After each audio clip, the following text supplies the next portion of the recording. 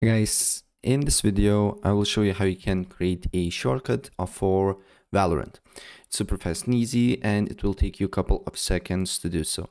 Right, so first of all, what you need to do here, you just need to go on search, and then you just need to here write Valorant, right?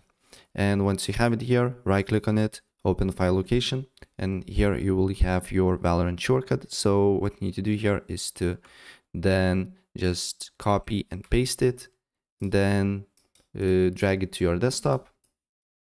You can delete the the copy part here as you can see here. And then you can enter the game.